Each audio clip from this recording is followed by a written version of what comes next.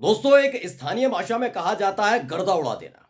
जी हाँ वही गर्दा इन दिनों बिहार के अंदर तेजस्वी यादव ने उड़ा रखा है। और हालत यह हो गई है दोस्तों कि न चाहते हुए भी भारतीय जनता पार्टी को आगे आकर वो करना पड़ रहा है, जिसकी वजह से लगातार उनकी साख धूमिल होती जा रही है।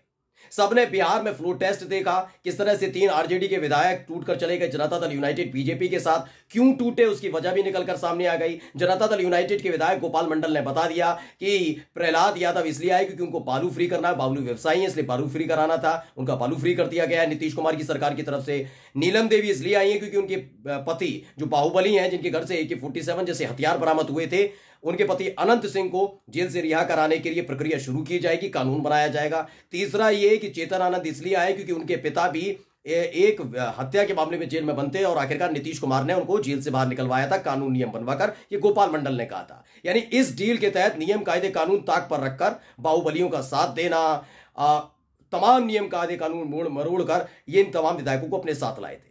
लेकिन उसके बाद जनविश्वास यात्रा तेजस्वी यादव की तरफ़ से निकाली गई। अलग अलग जगह भीड़ जुट रही थी। एनडीए टूटने की कगार पर आ गया था। जब एनडीए टूटने की कगार पर आया तो आखिरकार भारतीय जनता पार्टी को आगे आकर वही करना पड़ा, जिसके लिए वो जानी जाती है। यानी कि महागठबंधन के विधायकों को तोड़ा गया है। आज मैं एक एक खबर आपको बताना जा रहा हूँ। नमस्कार, मैं हूँ प्राज्वल गौतम और आप देख रहे हैं न्यूज़ सर्किल। पहले से ही तीन विधायक गए हुए हैं। सेवेंटी नाइन विधायक थे बिहार में आरजेडी के।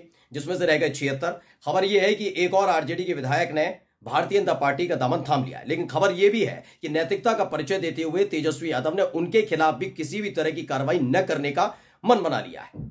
यानी एक और विधायक के जाने के बाद इनके पास रह गए सेवेंटी फाइव पिछहत्तर विधायक है। वही खबर है कि महागठबंधन में शामिल कांग्रेस पार्टी के दो और विधायकों ने भारतीय जनता पार्टी का दामन थाम लिया है। आज तक ने खबर छापी है, क्या लिखा है? बिहार में महागठबंधन को एक और झटका। कांग्रेस आरजेडी के तीन विधायक एनडीए में शामिल हुए हैं। ये खबर है और इस खबर को मैं आगे पढ़कर बता दूँ कौन कौन है वो। देखिए, इसमें बताया गया है कि कांग्रेस के मुरारी गौतम महागठबंधन सरकार में मंत्री रहे थे और चनेरी विधानसभा से विधायक हैं।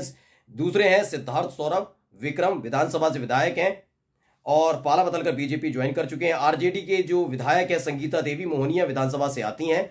अब ये क्यों आए, कैसे आए, उसको मैं आगे जाकर आपको बताऊँगा, लेकिन फ़िलहाल हालात क्या मैं आपको बता ही चुका कांग्रेस के दो विधायकों को तोड़ा, एक आरजेडी के विधायक को और तोड़ लिया है।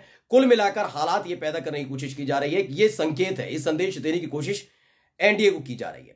एनडीए के तमाम साथी जो छोड़ने के लिए तैयार बैठे बैठे हैं, खासकर चिराग पासवान और जीतन राम मांझी को लेकर। क्योंकि हाल ही में एक खबर निकल कर आई थी कि जीतन राम मांझी वैसे ही नाराज़ चल रहे थे, क्योंकि राज्यसभा की जब उम्मीदवारों की घोषणा की गई, उसके बावजूद भी जीतन राम मांझी के नाम का ऐलान नहीं किया गया। इस बात को लेकर नाराज़गी जीतन राम मांझी के दिलो दिमाग और जहन में थी।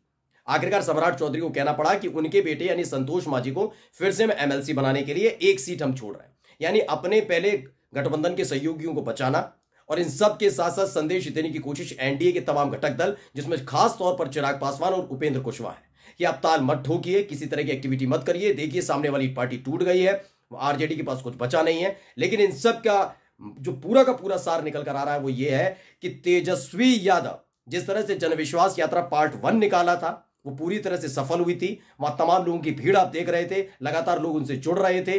दूसरी जो यात्रा उन्होंने शुरू की वो चौदह सौ किलोमीटर की, उसमें भी लगातार यही देखने को मिल रहा है, चाहे दिन का उजाला हो या रात का अंधेरा। आरजेडी के नेता तेजस्वी यादव से लगातार लोग जुड़ रहे हैं और यही बात भारतीय जनता पार्टी को, खासकर जनता दल यूनाइटेड के लिए आफत बनी हुई है। खबर सिर्फ़ इतनी नहीं है। खबर यह भी है कि जनता दल यूनाइटेड के ग्यारह विधायक कभी भी बगावत कर सकते हैं। और माना जा रहा है कि जब जन विश्वास यात्रा का आखिरी चरण होगा, उस वक्त न केवल चिराग पासवान, न केवल उपेंद्र कुशवाहा, बल्कि जनता दल यूनाइटेड के ग्यारह विधायक सामने आ सकते हैं, जिसकी खबर सबसे पहले आपके अपने चैनल न्यूज़ सर्किल ने दिखाई थी। अब ऐसे में है कि अगर जनता दल यूनाइटेड के ग्यारह विधायक जाते हैं तो इन ग्यारह विधायकों को न रोक पाने की वजह से सरकार गिर सकती है। तो क्या किया जाए? उन तमाम कमज़ोर कड़ियों को खंगाला जाए, जिन्हें आसानी से तोड़ा जा सके। जिसमें से कांग्रेस के दो विधायकों को तोड़ा गया और एक विधायक आरजेडी का और तोड़ लिया गया। जिससे अगर ये ग्यारह विधायक जाते हैं तो आराम से सरकार बनी रही, अब याद रखिएगा।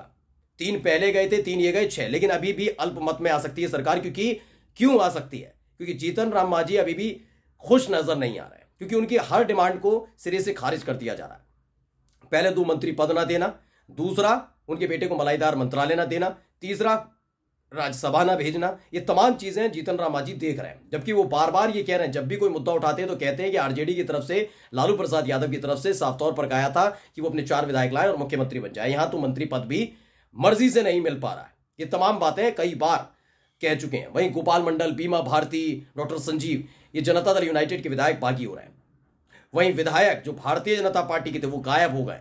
यानी सम्राट चौधरी हो या भारतीय जनता पार्टी के तमाम नेता, ये बहुत गौर से देख रहे हैं कि किस तरह से खेल बिहार के अंदर किया जा रहा है। तेजस्वी यादव कोई ज़्यादा मेहनत नहीं कर रहे, किसी के साथ संपर्क नहीं साध रहे, किसी को तोड़ने की कोशिश नहीं कर रहे, लेकिन उसके बावजूद भी तेजस्वी यादव लगातार मज़बूत हो रहे हैं और उनका गठबंधन, यानी बीजेपी और जनता दल यूनाइटेड का गठबंधन लगातार कमज़ोर होता जा रहा है और उसे मजबूती देने के लिए। सोचिए, अपने विधायकों पर भरोसा नहीं है। अपने विधायकों को वापस नहीं ला पा रहे हैं, लेकिन वो दूसरे पार्टी के विधायकों को तोड़ रहे हैं। क्योंकि इनकी अपनी पार्टी के विधायक जो इनसे खफा है इनसे नाराज़ है ना पसंद नहीं कर रहे कर रहे, उनके खिलाफ कोई भी ऐसा मामला दर्ज नहीं है, जिसके आधार पर उन्हें तोड़ा जा सके, डराया, धमकाया जा सके। अब लगातार उन लोगों पर, को चिन्हित किया जा रहा है रेडार पर लाया जा रहा है, जो आसानी से टूट जाए, क्योंकि आपको बता दूँ अगले महीने इक्कीस मार्च को ग्यारह एमएलसी की सीटें हैं, विधान, बिहार के अंदर वो खाली हो रही हैं और उन पर वोटिंग होनी है। उससे पहले हालात ऐसे पैदा कर देने हैं कि जब वो वोटिंग हो तो क्रॉस वोटिंग करने के बावजूद भी भारतीय जनता पार्टी और जनता दल यूनाइटेड के जो उम्मीदवार हैं, वो जीत जाए। और झटका लगे आरजेडी को, तेजस्वी यादव को, लालू प्रसाद यादव को। लेकिन खेल हमेशा उल्टा होता जा रहा है।